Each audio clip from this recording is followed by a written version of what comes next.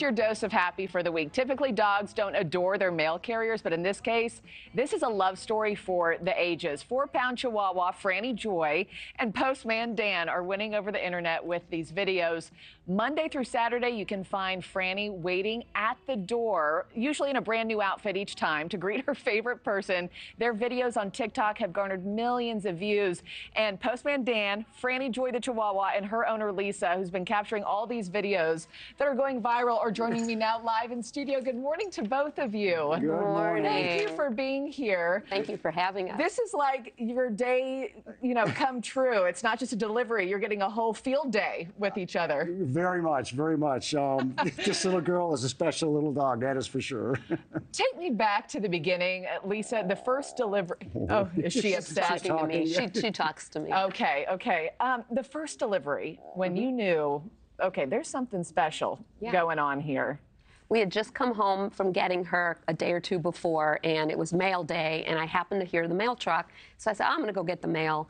And I didn't have my phone with me or a camera or anything. Uh-huh. And I had Frannie in my hand. I walk out to get the mail from my postman, who I didn't really know.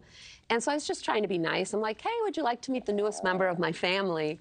And he's like, sure. And he turned off his truck and he stepped out outside of his truck, and I handed her to him. And she started kissing his face and pawing at his face like she knew him for years and years and years. And she Love was, at first sight. She was like 10, 11 weeks old, and she was already in love with him. it's crazy. Tell me about for you when you first met Frannie and and you knew this wasn't your your average route customer or, or delivery. no, no, and she was, uh, we always tease it, she was like the size of a potato, and she was definitely hugging on my face and, and licking me a lot. So that was the first meeting, and then the um, the uh, second and third, fourth meeting, um, Lisa had her on a long leash at her front door, so she could run straight to me, but not run away off the leash, and she ran straight to me.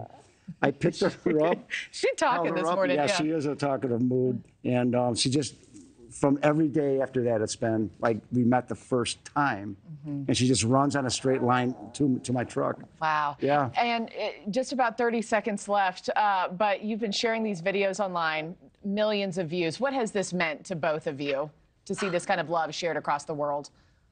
It's meant everything to me because that's all I've ever wanted to do. It's just, you know, infuse a little more love, a little more hope, a little more joy.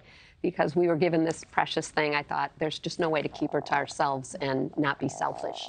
So the best thing to do is to share her with whoever wants to take a look at her and enjoy the, the love. Yeah. And I knew I knew Dwayne and Lisa were special because in their yard they had a sign that says "Change the World."